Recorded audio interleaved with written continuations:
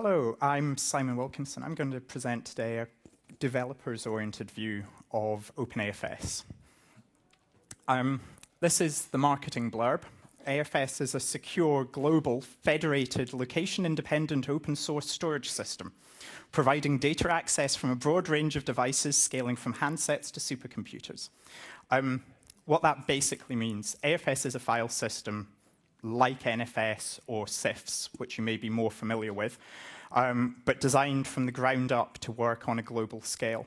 Um, a typical AFS user has about 25,000 clients distributed around the globe. Um, there's, there's, one user who, who has about 50 worldwide locations, all of which share the same file system. Um, it provides access for devices ranging from the laptops in front of you to a, a small PDA, right the way up to people who've written clients for supercomputers.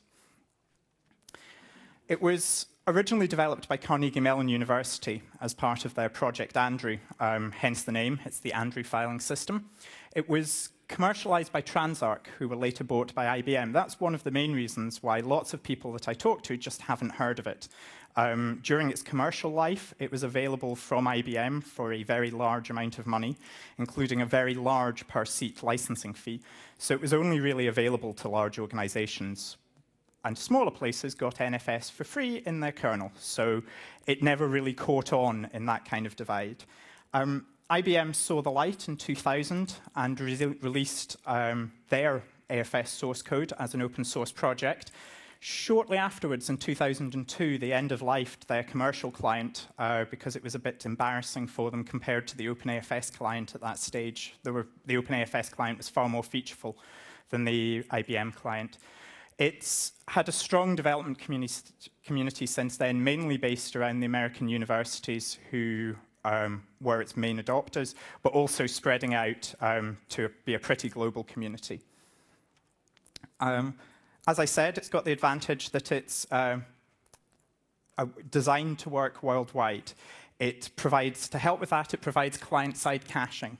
Um, unlike things like CacheFS, which you may have seen in various um, kernels, it doesn't rely on the files in the file system not on the server not changing. You're guaranteed that when the files on the server change, the client cache is notified and updated. You'll never get an out-of-date view of a file in OpenAFS. It provides something that we term location independence, which means that a user doesn't need to know where on, where on the network their file may be residing. And in fact, an administrator can move a file from file server A to file server B while the user is accessing that file and without them ever being aware of it, which is a huge win for sites performing system administration, where you can evacuate all of the files from a file server and put them somewhere else without having to notify any of your users that there's going to be a system outage. It, very good across wide, net, wide area networks, and at the end we'll see just how wide those wide area networks can be and works well across NATs. It also supports federated authentication. In today's world, particularly in academia where I come from, but also in commercial clients, collaborative projects are very common. And it's often the case that you want to give two people at different organizations with completely different authentication systems access to the one file. AFS will support that. Um, just a quick bit on its architecture. Um, everybody in AFS will talk about cells. A cell is the organizational unit. Um, within a cell, you have a set of volumes. A volume is typically something like a user's home directory. Um, it's volumes that, as I mentioned before about things being moved around between file servers, it's volumes that you would move between a file around. Um, one important thing to realize is that everyone's cell is in the default configuration visible from everyone else's cell. So if I have a, an AFS client on my laptop, I can see every AFS file system of every organization in the world. I can't necessarily read them unless they've decided to give me permission, but there is the possibility that um, Carnegie Mellon University want to give me access to a file, and I can then just go in and get it on my laptop without having to install any additional software or perform any additional configuration. Um, our cells are stitched together to provide that functionality through doing DNS lookups. Um, AFS actually has its own resource record in the DNS called the AFSDB record, which is kind of a forerunner of today's SRV records.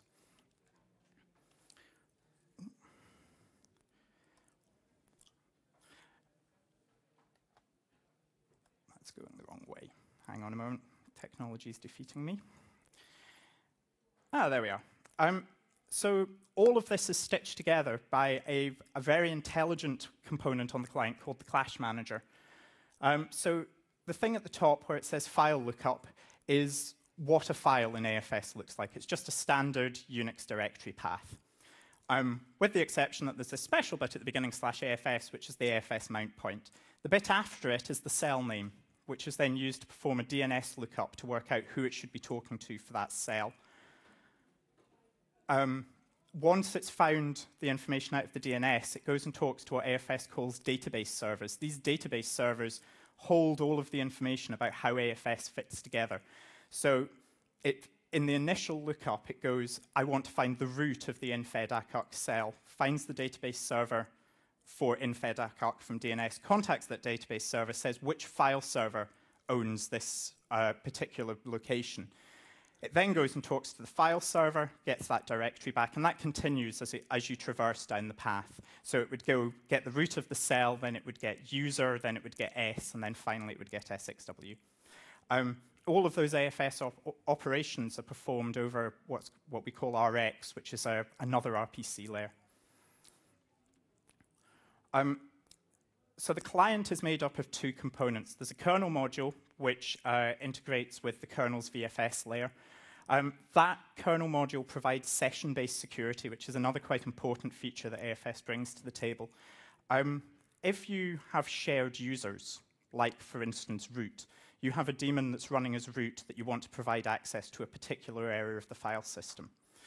You want that area, that to be restricted just to the session that that daemon's running, not for all processes that are running as root to have those permissions. So AFS actually allows you to subdivide access permissions down into what it terms sessions.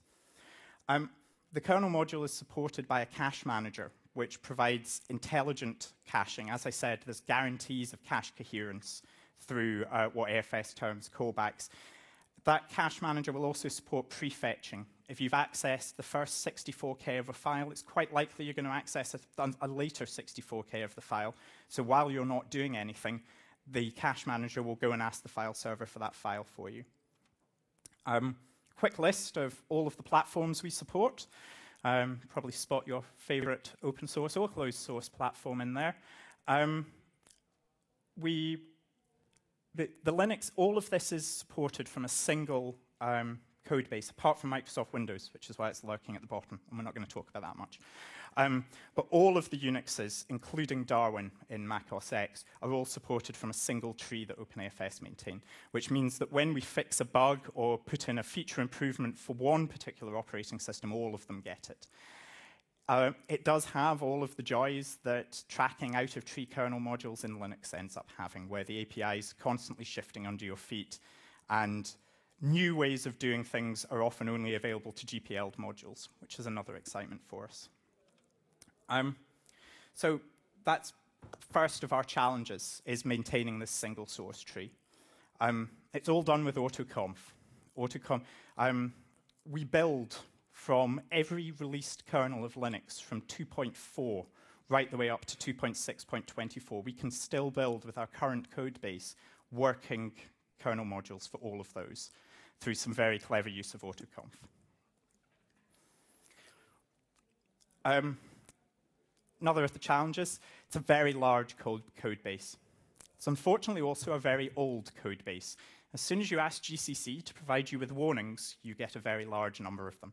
And one of the things I'm working on at the moment is just tidying up the code so we can work out what warnings are just because somebody hasn't prototyped a particular function, and which of them are because we're actually calling something in the wrong way. It's got a very large user, well, it's got a sizable user community, which is generally made up of large enterprise organizations who have very high stability expectations which makes it very challenging to in integrate new features into the code base because your stable tree has to be very stable. People tend to be more paranoid with their files than with really any other part of their computing infrastructure. There are, however, some low-hanging fruit to, to find. One of, one of the big problems that we hit is application developers don't really think that much about network file systems when they write their applications.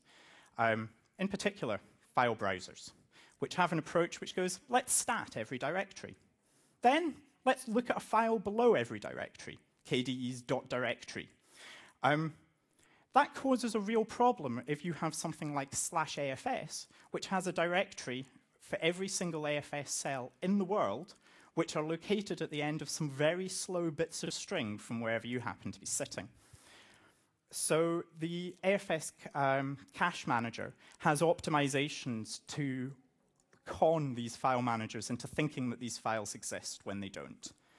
Um, only for pick particular locations that will be slow to access. But we do keep finding these problems with generally GUI applications that have probably only really been tested on a machine where the author's home directory is on the local disk. Another, another classic, and I'm actually wearing the t-shirt from, from the project, Thunderbird had an interesting feature where if a file became unavailable because your access permissions for that file had run out, it would just segfault. Um, lots of people don't check whether close succeeds. Um, and actually, if you've got a file system where things happen on a close, like AFS, that becomes an issue. As I said, um, APIs for kernel are constantly changing. Um, much slower pace of change with things like Open Solaris, much quicker pace of change with Linux. So there's always a need for developers to keep AFS up with the newest, with the newest versions of every APIs. And we're still finding bugs that IBM put in there. Um, big, big plans for the future. There's going to be a major overhaul of the cryptography, um, putting in GSS API-based uh, encryption mechanisms. Um, AFS at the moment uses a UDP-based transport layer. That's going to get thrown out and replaced with TCP. Um, we're finding that most kernels are far better at dealing with TCP applications quickly than they are with UDP ones um, because that's where all the optimization work's been going. Um, we've got a quite interesting thing called object storage, which is getting the, the big computing laboratories very excited. And my personal uh, project, which is implementing disconnected operation. So you'll be able to pull the network out the back of your laptop and still read and write to all of the files that are on your laptop, reconnect the network, and it'll update all of them back to the server. Um, developing all of these things does have issues file systems generally aren't seen as being sexy. It's quite difficult to get people who are interested in working on something that's as low level as a file system. Developing and testing file systems requires quite a lot of infrastructure. You need to be able to bring up a client and a server, and with AFS database servers. It's a large, complicated code base, which can be quite a challenge to pick up. And as I said, stability is very important. Um, you need to make sure that your code works properly before you try and put it in the tree. But that said, um, AFS, with its relatively small development community, is having, having a really big impact. Just to run through these uh, images one at a time. This uh, up the top here is Babar, which is an experiment at the Stanford Linear Accelerator Center, which is using AFS for all of its uh, code storage needs. I think they're generating data streams off that collider of petabytes per second.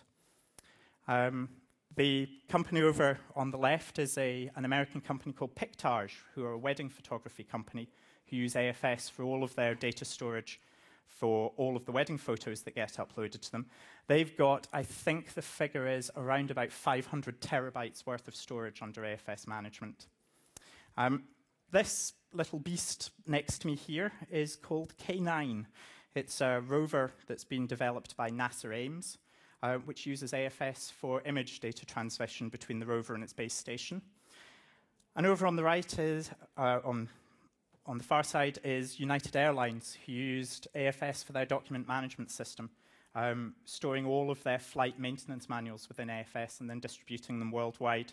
They, they had the situation that if AFS wasn't available on a particular gate that a plane had to fly out of, that plane was not allowed to take off. We also have other organizations such as Morgan Stanley, the investment bank, who use AFS for all of their Windows needs. Um, if AFS, uh, sorry, all of their Unix needs. If AFS goes down, um, they have no Unix. If they have no Unix, they have difficulty trading. You can imagine the premium they put on stability. So that's kind of a quick overview of AFS. Hopefully, it's got some people interested in, in taking a look at it and possibly in thinking about contributing code. There's, there's lots of bits that could be do, do with being done, and more developers are always welcome. Anybody got any questions? Ah!